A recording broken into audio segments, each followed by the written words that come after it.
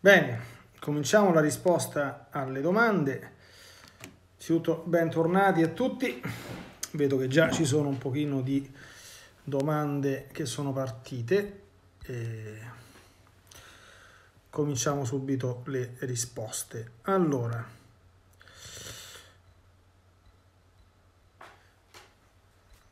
questa è la prima. Sì,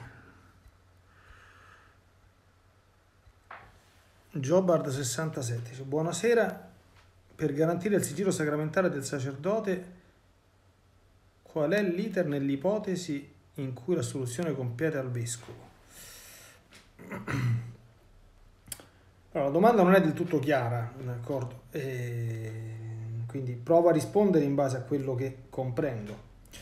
il sigillo sacramentale è semplicemente inviolabile, quindi mm, punto e basta in maniera piena, totale, integrale e assoluta.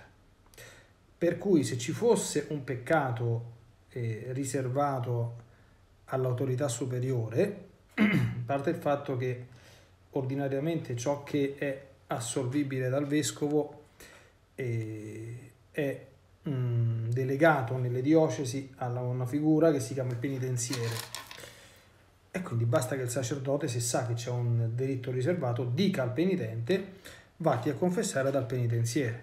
Punto.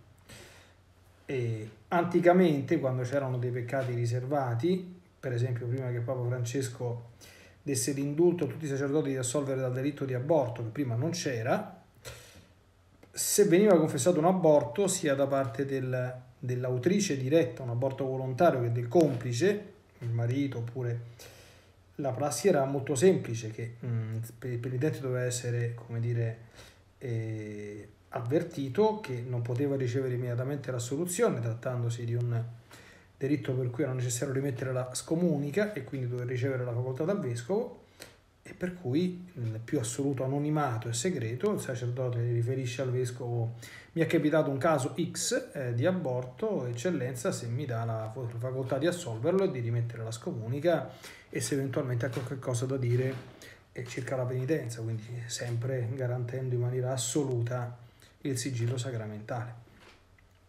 Il sigillo sacramentale è inviolabile da tutti, compreso dal sacerdote stesso. D'accordo? Perché il sacerdote stesso, questo lo si sa, non può nemmeno ripensare volontariamente al contenuto di una confessione.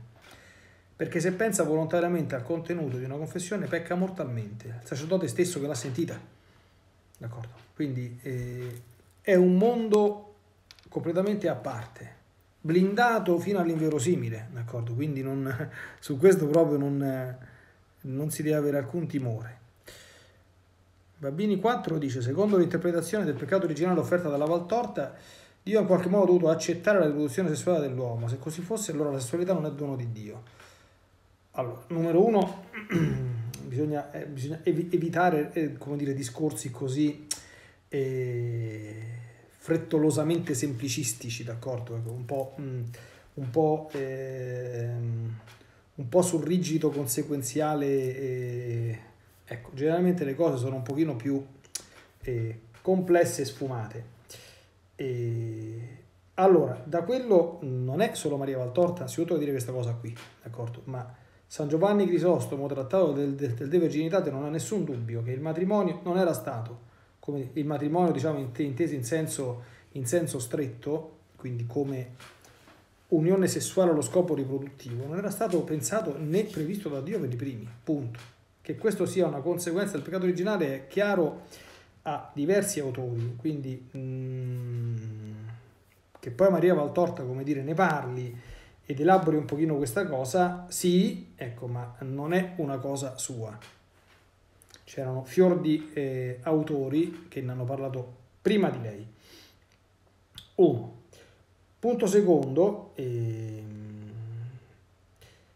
dire in senso stretto che la sessualità è un dono di Dio, mh, mm, proprio pum, e ecco, bisogna un attimo, bisogna un attimo starci a pensare un pochino perché eh, anche leggendo tanti documenti nel corso del tempo, insomma, eh, di per sé, come noi sappiamo, la sessualità, di questo ne hanno parlato diversi documenti del Magistero, adesso non riesco a citarli a memoria tutti quanti, no?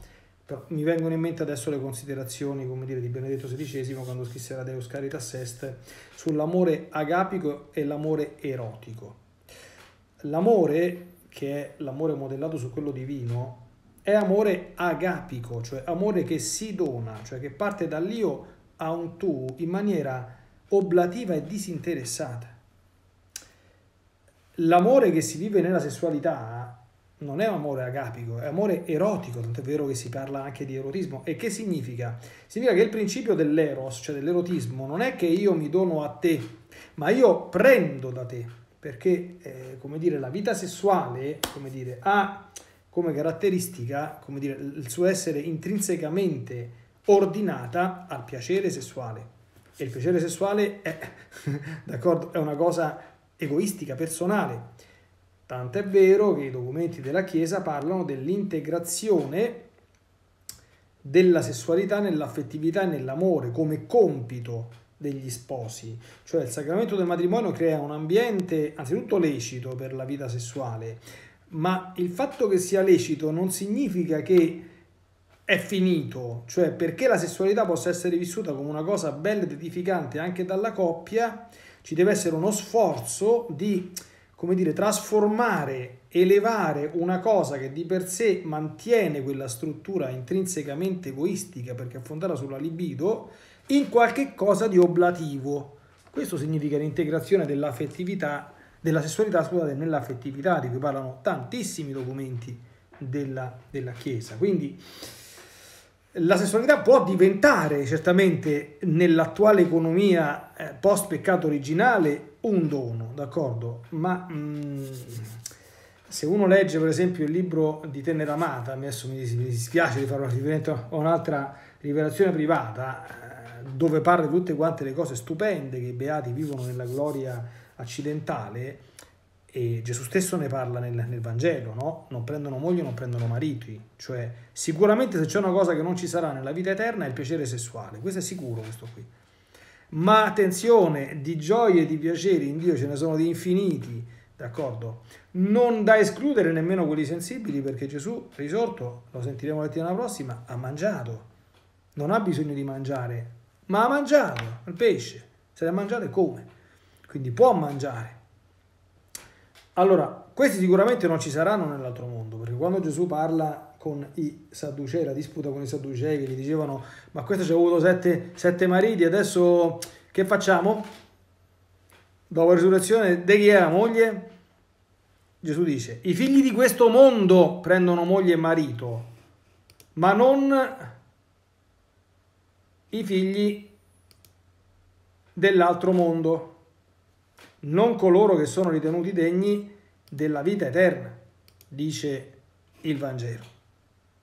Quindi mh, mm, la, la, la, frase a slogan è noto, insomma, poi, no? Quindi la sessualità è una realtà che può diventare una cosa molto bella, d'accordo? Perché c'è un sacramento, il matrimonio, che la redenta, Gesù l'ha coinvolta nell'opera della redenzione, rimane tuttavia una sfera problematica perché eh, è notorio insomma che eh, anche in una coppia felicemente sposata in chiesa può succedere che la vita sessuale eh, possa diventare come dire un problema non, non è detto che sia eh, come dire ipso facto idilliaca quindi c'è un'azione oggettiva che è svolta dal sacramento ma ci deve essere anche come dire una eh, integrazione soggettiva da parte degli, degli sposi, no? Cioè il, il, la, la, le, le, modalità sante, diciamo così, di vivere la, la sessualità eh, si devono, punto primo, conoscere, e non è il caso adesso di approfondirle in questa sede, punto secondo, viverle. E, e questo è un compito, è un, è un bel compito Ah, se la coppia vive questo, certamente una realtà che di per sé mantiene proprio strutturalmente, cioè quando io per esempio parlo ai fidanzati gli dico approfittate di questo tempo, perché nel fidanzamento la sessualità non ci deve essere, a nessun livello, eh? la sessualità esplicita, ma c'è invece spazio per l'affettività. Questo è fondamentale proprio per cominciare a mettere le basi di questo lavoro che dovrà essere fatto dopo il matrimonio, cioè integrare la sessualità nell'affettività. Cosa intendo con questo? Intendo che se io a una persona le faccio una carezza, che è un gesto di affetto, una carezza sul volto per esempio, la carezza sul volto a me che la faccio non è che produce tutto sto granché, ma chi la riceve produce una grande cosa. D'accordo? Così come un bacetto affettuoso a chi lo riceve, come dire, trasmette affetto, a chi lo dà un, un po' meno, è più bello riceverlo che darlo, diciamo così, no? Ecco. E, allora, tutto questo prepara, come dire, l'ambiente perché la sessualità possa essere vissuta anche dentro il matrimonio come una cosa pienamente bella fermo restando, ripeto, la liceità, fermo restando che gli sposi possono vivere serenamente questa cosa, non possono astenersi se non di comune accordo, tanto, tutto, tutto quello che la Chiesa ha sempre insegnato, anche se forza della, della Sacra Scrittura. Quindi bisogna essere attenti, insomma, a non parlare di cose così ecco, serie, importanti e delicate per botti, insomma, no? per slogan. Allora, Ianto Ernesto Don Leonardo, buonasera. Lo scapolare, la medaglia miracolosa e la corona del Santo Rosario sono i sacramentali più importanti, è vero, grazie e buona serata. Ma ah, che cosa vogliamo dire? Probabilmente sì, d'accordo, questi io non, non ho tutta quanta questa, come dire, autorità né autorevolezza, insomma, perché poi in fin dei conti lo sa nostro Signore. Certamente la medaglia miracolosa, la corona del Santo Rosario, benedetto ovviamente, lo scapolare del Carmine, benedetto. C'è veramente anche la medaglia di San Benedetto, insomma, che non è che c'è molto da, da invidiare. Quindi i sacramentali sono tutti quanti eh, oggetti che portati con fede producono, eh, ci, ci, ci proteggono dal male e ci fanno arrivare nel modo proprio appunto dei sacramentali le grazie da parte del cielo.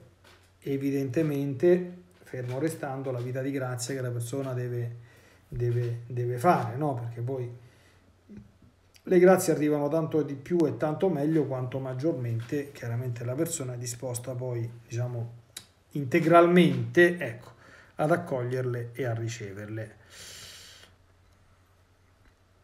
Marina.neri.50 scrive Buonasera Don Leonardo, quali sono i motivi per annullare, un matrimonio religioso?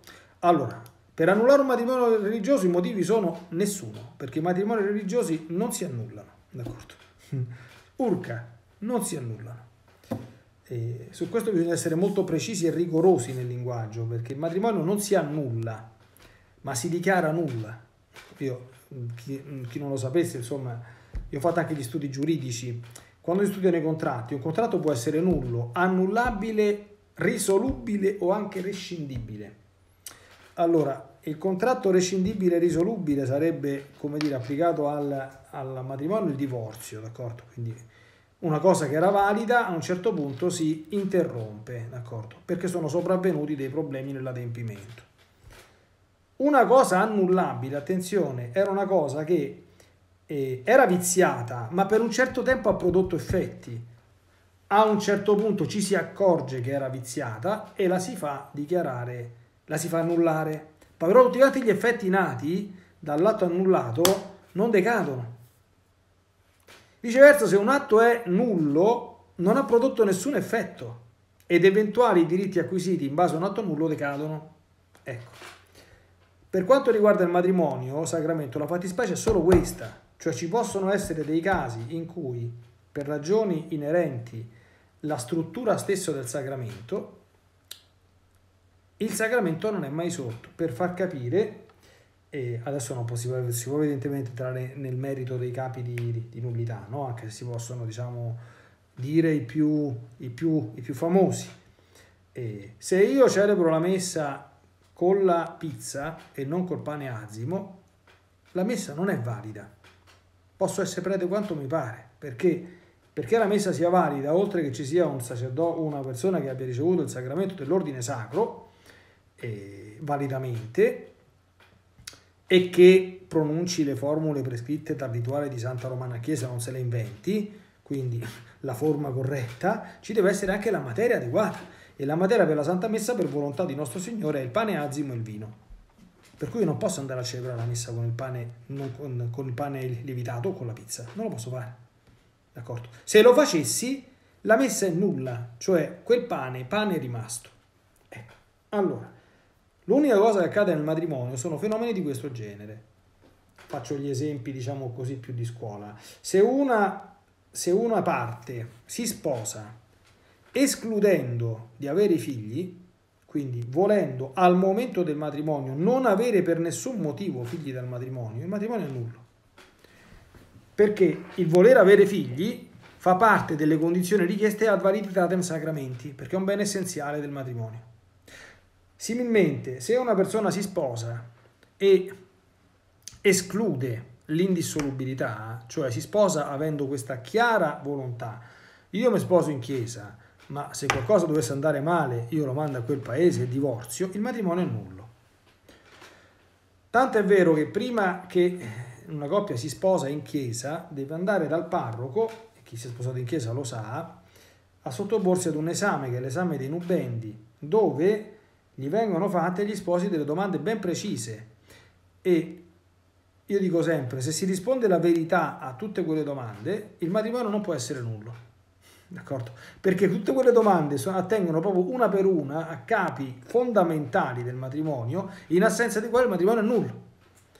Quindi quando, quando viene contratto un matrimonio nullo, c'è sempre qualcuno che ha mentito, quindi giurando il falso, in quella sede. E tanto è vero che molte dichiarazioni di nullità, siccome questo ricorre quasi sempre, questo pochi lo sanno, va bene che lo, che lo si sappia, eh, vengono pronunciate, ma con divieto di contrarre nuove nozze per la parte per colpa della quale il matrimonio era nullo. Nell'esempio che ho fatto prima, se io mi sposo, io escludo l'indissolubilità, invece mia moglie no, mia moglie la voleva l'indissolubilità e a un certo punto va tutto quanto a scatafascio di che, perché il matrimonio, il matrimonio è stato nullo per colpa mia, perché sono io che ho escluso l'indissolubilità. Quella poveraccia non c'è nessuna colpa, però io facendo questa cosa ho profanato un sacramento, oltretutto. Ho giurato il falso, oltretutto. E per cui la Chiesa ha tutto il diritto di dirmi, hai fatto questo, bene, tu in Chiesa a sposarti ti ci sposi più. Non ti dà la dispensa per, per le nuove nozze, per contrarre un nuovo matrimonio. Questo è constatabile, parlate con i vostri parroci, insomma, e lo potrete tranquillamente constatare, ma oppure leggete qualche sentenza di nullità e dispositivi in cui appunto viene il matrimonio è dichiarato nullo, ma la parte X non può più sposarsi in chiesa, oppure può sposarsi in chiesa solo col consenso dell'ordinario o cose di questo genere. L'ordinario sarebbe il vescovo, cose di questo genere, proprio perché si vede che l'ha fatta grossa, d'accordo? Che nel senso che essendo stata lui la causa della nullità, o lei, eh, prima di risposarti in chiesa bisogna che ci pensi un attimo e che dai segni che ti sei pentito e che sei affidabile, eh, perché hai già fatto dei guai grossi, eh, perché nel matrimonio non fate dei danni soltanto a sé, trascina i danni pure quello che gli si è messo vicino, eh, eh, poveraccio insomma, no?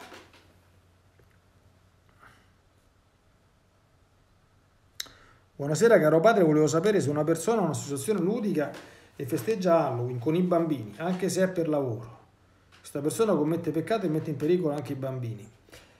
Allora, eh, questa, questa, questa, questa domanda è una domanda... Eh, come dire, che può essere del tutto inutile. D'accordo? Non c'è scritto nel catechismo della Chiesa Cattolica che Halloween sia peccato, d'accordo? Numero uno. Gli esorcisti, però, e quasi all'unanimità, d'accordo? Io mi sono abbastanza documentato, e con profonda dovizia di argomentazioni, ammoniscono circa il non dover partecipare in nessun modo a questo tipo di feste. Punto e basta. Per cui se uno crede a questo, e io ci ho parlato tante volte, consiglio vivamente di crederci, è evidente che la domanda non ha ragione di esistere. Chi fa questo qui fa un favore, se tutto questo è vero, a chi c'è dietro Halloween, che certamente non è un personaggio buono, dolce e caro. Quindi la domanda è priva di, eh, di, di, di senso, insomma, no? perché un'associazione ludica non è obbligata a organizzare tutti i giochi e i festeggiamenti possibili e immaginabili, può avere delle buone motivazioni per non farne alcuno. Eh, non vorrei, eh, dobbiamo sempre chiederci, quando non si fanno alcune cose, c'è un detrimento patrimoniale.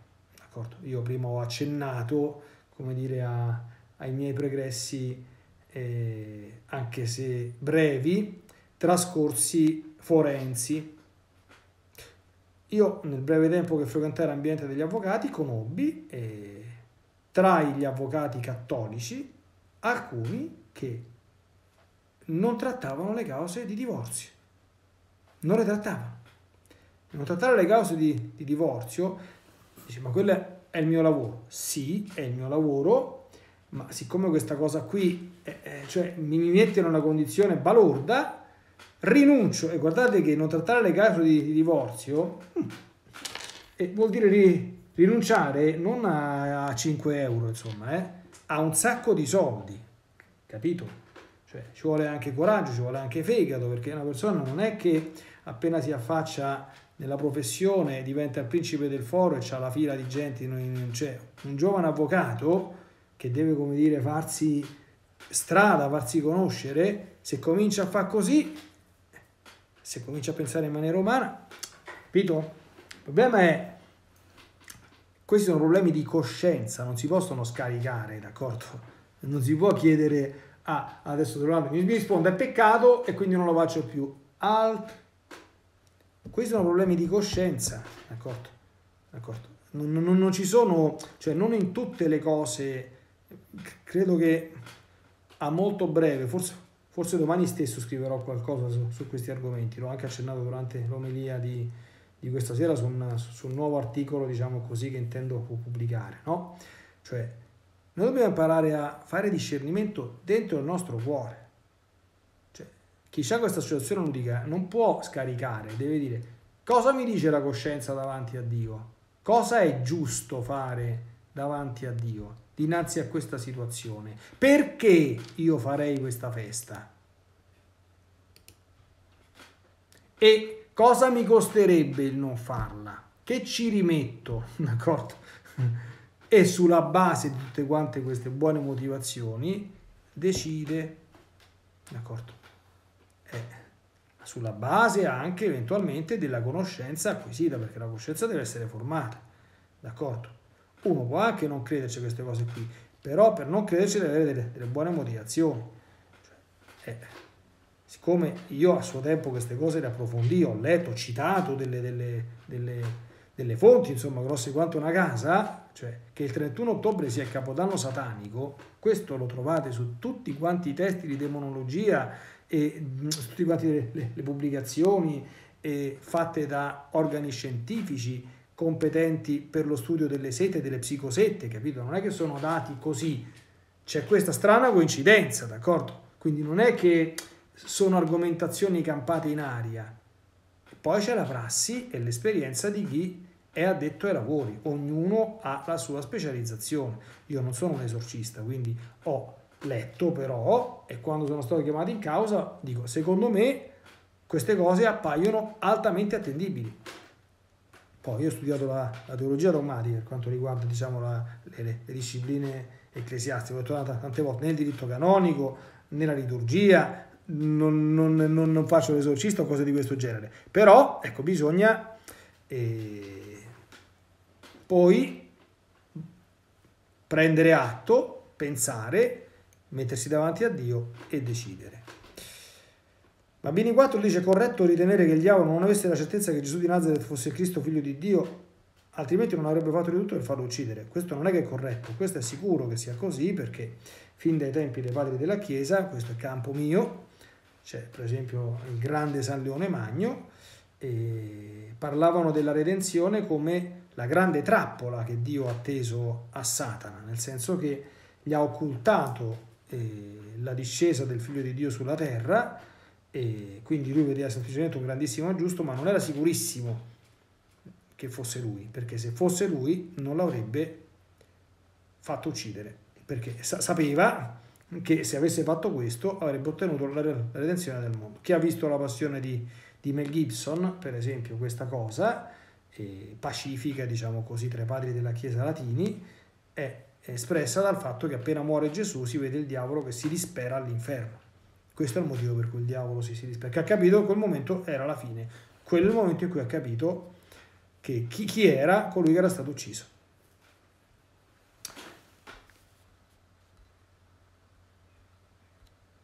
Albi Bert, buonasera padre, quando si parla dei fratelli di Gesù nel Vangelo è vero che si tratta di parenti generici, ma di chi si trattava? Allora, certamente sì, si trattava dei figli, del, sono tutti quattro i figli del fratello di San, di San Giuseppe. Di due di essi, e se uno guarda tutti quanti i Vangeli, mi sembra che sono Ioses e Simone, si dice esplicitamente in un'altra parte del Vangelo che sono figli di Maria di Cleofe. Cleofe era il fratello di San Giuseppe. E gli ebrei chiamavano fratello Ach è in ebraico, non semplicemente come noi fratelli germani, ma anche i membri della parentela neanche troppo vicina, perché Abramo e Lot, che erano zio e nipote, come è noto, se uno legge i testi dell'Antico Testamento dove si parlano, Abramo dice a Lot, tu vieni con me, ma non siamo forse fratelli? E il termine che usa in ebraico è Achot, Achim, non Achot, Achim. Perché? Perché eh, l'ebreo parla così, d'accordo? Anche io quando saluto i fedeli bisogna vedere il campo, cioè che cosa dico? Fratelli, per celebrare degnamente i santi misteri riconosciamo i nostri peccati, giusto? ma non è che sotto l'assemblea stanno mio fratello e mia sorella di, di, di, sangue, no? Dentro un contesto cultuale noi siamo fratelli in Cristo. Dentro un contesto della rivoluzione francese, d'accordo? Quindi del, del, cosmopolitismo, ah, sono tutti quanti fratelli. Fratelli e sorelle sono, sono, sono tutti. Quindi bisogna vedere il campo semantico, d'accordo? E il campo semantico è come ho cercato di illustrarlo. Questo abbiamo già risposto. Rosy Biffi scrive Buonasera Donato, in questo periodo avendo avuto una possibilità di partecipare alla veglia pasquale, volevo sapere se posso ricevere la comunione. Allora Rosy Biffi, eh, in questo periodo bisogna obbedire alle disposizioni delle autorità ecclesiastiche, per cui i vescovi hanno fatto, tutti quanti, anche il mio, dei decreti con cui regolano eventuali partecipazioni ai riti della settimana santa, che dalle mie parti sono ridotte a quasi zero? Nel senso che eh, un diacono, un lettore e nei casi in cui ci siano delle riprese da fare, un addetto, diciamo così, alla regia, uno o due. E quello che poi si può fare in questi contesti, chiaro che se un diacono partecipa, evidentemente devo fare la comunione, ma va... Eh, fatto in obbedienza a quello che adesso le autorità della Chiesa dicono di fare. Punto e basta. E non, non, c'è altro, non, non c'è altro da, da, da, aggiungere, quindi non posso io rispondere perché non, eh, non ho competenza, non ho voce in capitolo eh, di ciò diciamo così, che non riguarda ciò che il vescovo ha statuito per la mia diocesi, quindi non conosco la diocesi di appartenenza, deve parlare con, con il parroco. Io non sono d'accordo perché non mi piace proprio come, come modo di fare e come stile, secondo me non è cosa santificante di andare a fare in questo contesto le cose per forza e di nascosto, quindi fare le celebrazioni eh, private. Io poi per carità, cioè, ognuno ha la sua coscienza, come dicevo prima, e, e avrà fatto discernimento, avrà stabilito quello che è giusto. Io ritengo che in questo momento sia giusto eh, attenersi alle disposizioni date dalle autorità ecclesiastiche e civili. Punto. Io questo ho promesso quando sono stato ordinato sacerdote, perché ho promesso al mio vescovo e ai suoi successori filiale rispetto a obbedienza e a questo intendo avvalermi. L'obbedienza è cosa evidentemente che riguarda anche i fedeli nei confronti dei provvedimenti presi dalle autorità ecclesiastiche. Don Leonardo quando è in agonia si può avere una percezione dell'aldilà, grazie. Figlio caro, Ianto Ernesto, Don Leonardo non è come dire, un, come dire un, eh, un, uomo dotato di superpoteri. Don Leonardo in agonia non c'è mai stato, d'accordo? Quindi non, non, ho la più pallida idea di cosa accada in agonia. Mm, ci sono dei casi, non ho mai approfondito bene questo argomento, di premorto, di morte apparente, qualcuno dice, ecco, ma... Mm, non saprei cosa risponderle perché non, di ciò di cui non si può parlare, ecco, disse un celebre filosofo, è sempre meglio tacere. Albi Bert chiede, buonasera padre, quando si intende che Gesù è sempre esistito sin dall'inizio dei tempi, questo significa che esisteva già durante la creazione. Attenzione Albi Bert, perché eh, Gesù ha iniziato ad esistere da quando è stato concepito nel seno della Vergine Maria Gesù è il verbo di Dio fatto uomo. Il verbo di Dio, Dio da Dio, luce da luce, di vero da Dio vero, è coeterno col Padre, d'accordo? Ma la sua doppia esistenza, quindi nell'eternità e nel tempo, quella nel tempo, ha avuto nel tempo inizio, quando è stato concepito per opera dello Spirito Santo, nel grembo della Vergine Maria. Quindi al momento della creazione eh, Gesù non esisteva nel tempo, certamente esisteva già nella Santissima Trinità, come dire, il progetto dell'incarnazione. Evidentemente poi nell'eternità che Dio è, ma questo entriamo in un discorso troppo troppo complicato, nell'eternità tutto ciò che accade nel tempo è presente come un punto solo, d'accordo? Ma questo è argomento che eh, non è consono per noi. Noi dobbiamo dire che Gesù Cristo è nato sul pianeta Terra il 25 dicembre, non è detto che fosse proprio il 25, il 25 dicembre dell'anno 0, ecco, quindi, ed è stato concepito nove mesi prima, d'accordo? Ecco, quindi da quel momento il verbo ha una doppia esistenza, quella divina coeterna con il Padre e quella umana in quanto figlio della Vergine Maria.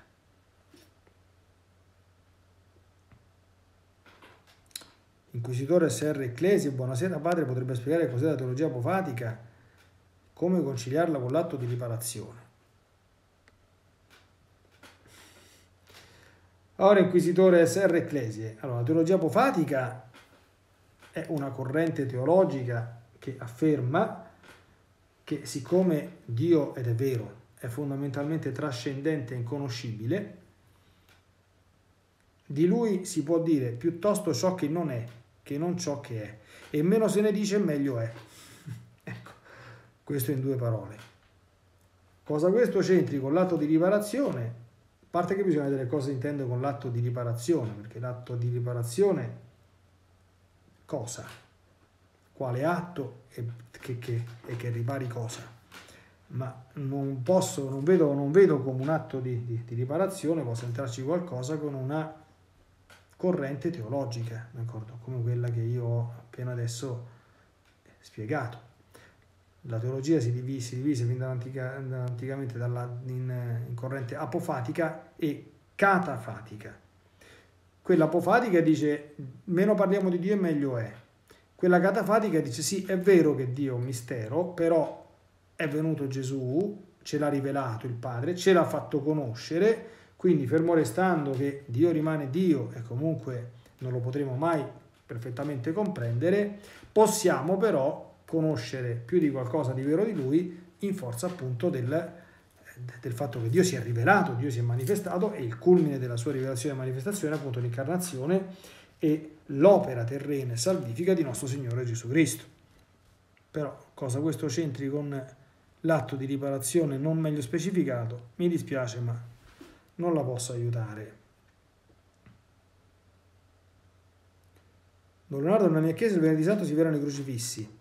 Lo possiamo fare anche noi perché allora, il venerdì santo, allora, numero uno, la venatura delle chiese è fenomeno eh, molto molto antico, la venatura delle, degli stati crocifissi cominciava la domenica di passione, quindi la domenica prima delle, delle palme e durava fino alla veglia pasquale.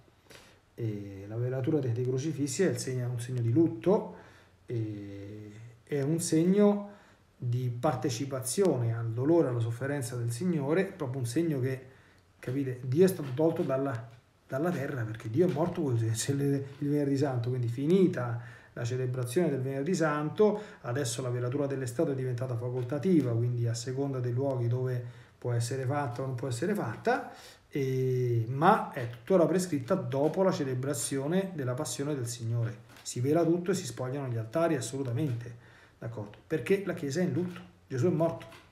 Ecco.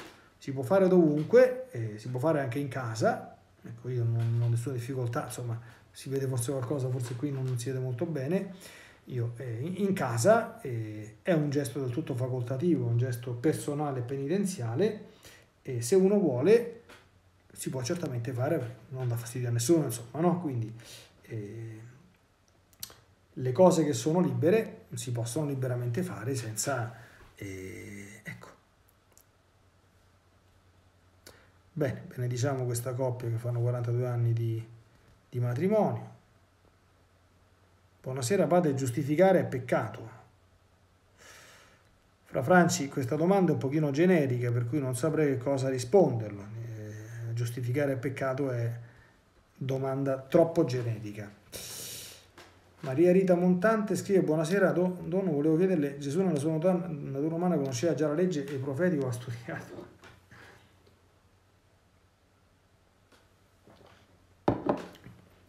Allora, Gesù nella sua natura divina conosceva tutto, d'accordo? Nella natura umana, mh, mm, allora, mh, mm, io non amo fare molto questi discorsi, d'accordo? Perché noi non possiamo comprendere appieno il mistero di una persona come quella di Gesù, che ha due nature. Queste due nature, come ha detto il Concilio di Calcedonia, sono perfettamente integre, d'accordo, e fanno ciascuna perfettamente ciò che è proprio di ciascuna di esse, senza confusioni e senza che l'una alteri l'altra. D'accordo?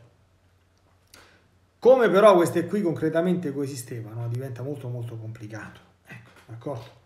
Quindi sicuramente Gesù a 12 anni è andato accompagnato da San Giuseppe al Tempio di Gerusalemme a fare l'esame eh, della conoscenza della legge e quasi certamente il, la, la sua maestra, diciamo così, sublime di tante cose è stata la Madonna. D'accordo? Quindi sicuramente si può eh, ritenere che per quanto riguarda la sua natura umana ha avuto un processo di crescita analogo al nostro, fermo restando che rimane sempre un certo, una certa cautela, diciamo così, e prudenza a, a, come dire, ad affermare troppo su questa materia perché rimane comunque un velo che a noi è ignoto. Ci abbiamo il dato di fede che la natura umana era una vera natura umana come la nostra, evidentemente però anche con le dovute differenze, perché io non sono nato da mia mamma, così come è nato Gesù bambino, eh, non avevo il potere che aveva Gesù bambino, certamente utilizzando la sua natura divina, non, non nella sua natura umana, di uscire dal grembo della Madonna senza ledere la sua integrità, no? Quindi questo lo, ecco, lo comprendiamo. Chiara Leonilde, buonasera Leonardo, quando Gesù muore nel Vangelo mi pare di Matteo si dice che risorsero i morti. In che senso? Nel senso che il Vangelo dice mm, che ci sono dei morti che sono risorti e che furono visti camminare in giro, cioè è un particolare che ci dà l'Evangelista San Matteo, su cui poi non, non è mancato di eh, non è mancata la fioritura di eh, una certa letteratura, evidentemente eh, del tutto libera, nel senso che mh, mm, non le si può dare un credito, come dire, che vada oltre. Ecco, questo è un episodio che quello che nel Vangelo c'è scritto è vero, punto, d'accordo? Morti che sono risorti e che sono stati visti vivi. L'interpretazione che è stata, diciamo, data da più di qualche autore, che io personalmente condivido, è che quelli furono delle primizie. Al momento della morte di Gesù, eh, i morti e i più santi tra i morti sono risorti da subito. Ecco, d'accordo? Sulla base di questo, per esempio, si fonda e tutta quanta la dottrina non riconosciuta evidentemente ancora dal Magistero della, della Chiesa, per esempio dell'assunzione al cielo di, di San Giuseppe, cioè del fatto che San Giuseppe stia in cielo non soltanto con l'anima ma anche con il corpo. Quindi che questi morti siano risorti, il Vangelo ce lo dice. Che siano una primizia, cioè un modo evidente con cui Gesù vuole dare la, la, dimostrazione che la sua morte è stata la fine della morte, d'accordo? E per dartene la, la dimostrazione risorgono alcune persone, è certamente un'interpretazione possibile. Chi fossero quei morti e che fine abbiano fatto è cosa su cui alcuni autori ci hanno pensato dando le loro ricostruzioni, diciamo così, lecite. Cioè, io penso che anche questa è una cosa che mi piacerebbe un giorno approfondire, magari scrivendoci qualcosa. C'era un'antica frase eh, che si eh, osservava nella Chiesa, che diceva in necessaris unitas, in dubis libertas, in omnibus caritas. Cioè, nelle cose necessarie ci deve essere l'unità, nelle cose dubbie c'è la libertà, ma in tutte ci deve essere la carità. Allora, nelle cose dubbie, cioè io non posso aggredire una persona perché la pensa diversamente da me su una cosa che non è, cioè questo, questo non si deve fare ne, ma non si deve, non si deve fare mai, non, non, si deve fare neanche nella Chiesa, d'accordo? Cioè una persona che la pensa diversamente da me, che ha un'opinione teologica diversa dalla mia su una cosa che non è di fede, io potrò anche dire garbatamente, di figlio fratello mio, tu pensi questo, io penso quest'altro con queste buone motivazioni, ma sempre, come dire, pacatamente, d'accordo? Con con un certo stile, con, con, con un certo modus. Ecco. Vabbè.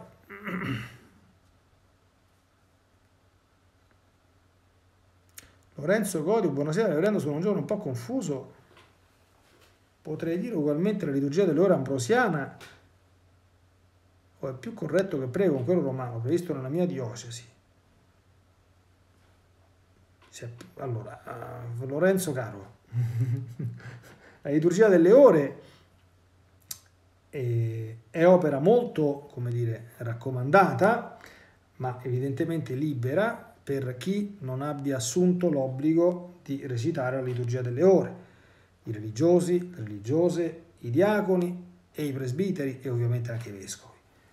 È evidente che se si celebra la liturgia delle ore, la liturgia ambrosiana è la liturgia che eh, vige nella diocesi di Milano fuori dalla diocesi di Milano, è chiaro, quello, quello che, che, vuole, insomma, no? ma non ha molto senso, come dire, dal momento che con la liturgia delle ore si entra nella preghiera della Chiesa, è cosa ragionevole e sensata entrare nella preghiera della Chiesa pregando come prega la Chiesa, d'accordo?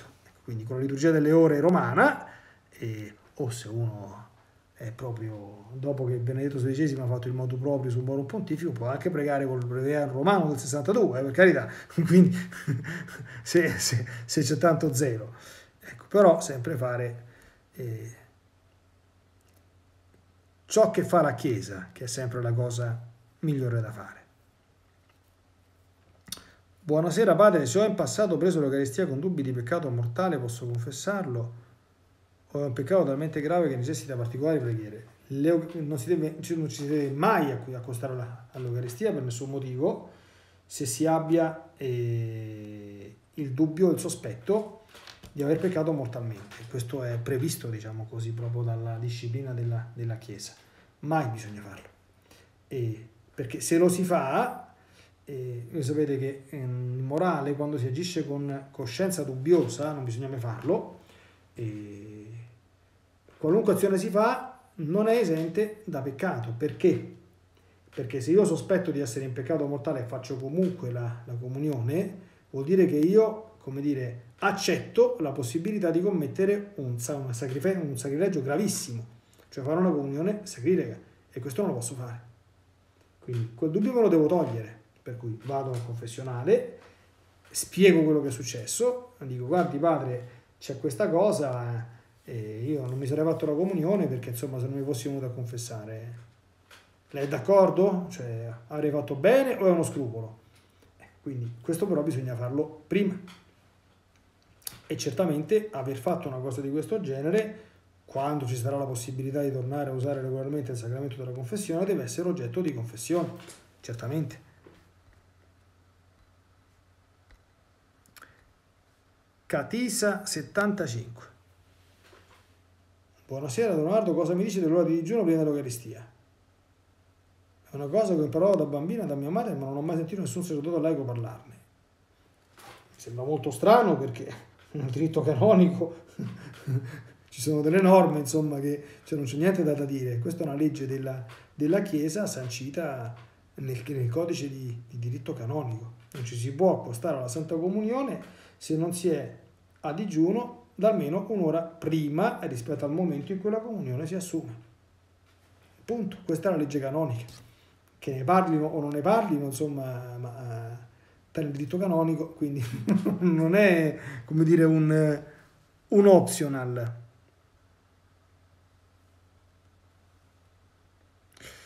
Fruscist dice Padre Leonardo mi scusi se farò una domanda non attinente al tema che sta sviscerando ma mi urge chiederle questo. La recente pandemia di Covid-19 potrebbe essere l'abominio della, della desolazione. Allora mm, come si chiama? Fruscist allora Fruscist e allora mia opinione personalissima anche questa qui quindi discutibilissima eh, e ci sono alcuni passaggi biblici apocalittici, l'abominio della desolazione e tante altre cose, che la cui decodificazione è enormemente difficile, d'accordo? Ecco, qui tra l'altro siamo uh, appena entrati, insomma, dentro questa cosa, non sappiamo che sarà, quanto durerà, quanti morti farà, fino a quando dovremo stare dentro casa, non sappiamo nulla ancora allo stato attuale, per cui eh, sappiamo soltanto una cosa, ecco, che eh, come ho scritto in un articolo che le consiglio di leggere, insomma, la settimana scorsa, le consiglio, insomma, se, se vuole, insomma, no? Ecco. Sappiamo che eh, anche questo si svolge sotto, evidentemente, eh, il controllo divino. Ecco, quindi se questa cosa da Dio è stata, diciamo, certamente permessa, questo sicuramente lo possiamo affermare senza ombra di dubbio, altro non lo possiamo sapere con certezza, e ha una sua ragione di essere, ha un suo senso, e come scrive San Paolo, per coloro che amano Dio tutto concorre al bene. Non c'è niente da temere per chi vive in amicizia con Gesù qualunque cosa accada. Andare molto oltre questo, tormentarsi, come dire, angustiarsi o avventurarsi in interpretazioni insomma di vario genere, a mio avviso, oltre che essere un'operazione sempre molto molto aleatoria, molto molto discutibile, è anche cosa a mio avviso se non inutile dannosa, nel senso che può contribuire semplicemente a far star male, ad agitarsi, a turbarsi, tutte quante cose che di per sé non vanno assecondate e se possibile vanno evitate. Spero di essere stato chiaro. Buonasera padre, è vero che rosario non è una collana da tenere al collo? Il rosario non, certamente non è una collana da tenere al collo, nel senso che non bisogna fare come fanno certi personaggi del mondo dello spettacolo, insomma, eh, che indossano il rosario al collo che, come dire, in modi non consoni. Ma come sapete c'è stato un caso molto molto eclatante di una conduttrice di un telegiornale che ci ha fatto una battaglia perché portava, non so se il crocifisso o il rosario al collo e qualcuno ha detto no, non lo devi portare perché è un simbolo religioso, perché portare il rosario al collo eh, come amore alla Madonna come sacramentale, come protezione, come gesto di devozione, se lo si fa con le dovute e buone intenzioni, è gesto lodevolissimo. Ci sono anche dei rosari da collo, quindi fatti a forma di, di, di catenina, d'accordo? E quindi non è una collana certamente nel senso che non va, diciamo, eh, sfoggiato eh, in un certo modo, però e si può portare con amore e con devozione certamente addosso. Corridore 62 dice buonasera Leonardo, citare il rosario in latino ha un valore maggiore. Valore maggiore, la, la preghiera ufficiale pubblica della Chiesa era ed è il latino, per cui eh, qualche esorcista dice che al diavolo fa, dà particolare fastidio la preghiera in latino. Questo è quello che a me consta. Se questo fosse vero, evidentemente significherebbe che un rosario in latino, valore maggiore, insomma, è una bella cosa, insomma. Ecco, ma questo non significa che un rosario in italiano, come dire, non, non, non è il caso, insomma, di, come dire, di, di, di, di caricare troppo queste cose, nel senso di... Eh, la, la, liturgia, cioè, la lingua ufficiale della Chiesa è ancora il latino, ecco, qualcuno insomma, ed è comunque la lingua sacra, era ed è, quindi questo fatto indubbiamente un qualche valore lo può, possiamo ritenere che lo abbia, no?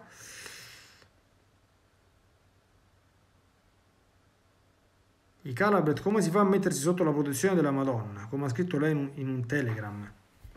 Quello che ho scritto in un telegram l'ho dimenticato. Per mettersi sotto la protezione della Madonna bisogna invocarla. Sotto la tua protezione cerchiamo rifugio, Santa Madre di Dio, soltanto già recitare questa antifona e mettersi sotto la sua protezione. E poi pregare il rosario e poi consacrarsi al suo cuore immacolato, fare degli atti con cui ne invochiamo l'aiuto e la protezione. Rolando Magri, Leonardo, buonasera, scusi la mia ignoranza, Maria Valtorta ha scritto l'Evangelo come è stato rivelato, lei ha già fatto qualche catechesi su questo. Vado sul mio canale YouTube e clicchi Maria Valtorta e poi vedrà, insomma, cioè, troverà diverse catechesi su questo, su questo argomento. Ultima domanda perché abbiamo 40 secondi. Albibert, buonasera padre, dunque se un sacerdote celebra una messa utilizzando un pane che non si attiva, una messa non è valida. Ma quindi vedere come se abbiano saltato messa quel giorno la messa non è valida, ma i fedeli che hanno partecipato alla messa, non sapendo questa cosa, è come se ci avessimo, se, se vi avessero partecipato. Allora, la mia benedizione a tutti, perché, ecco, sta per terminare il video, nel nome del Padre, del Figlio e dello Spirito Santo. Amen.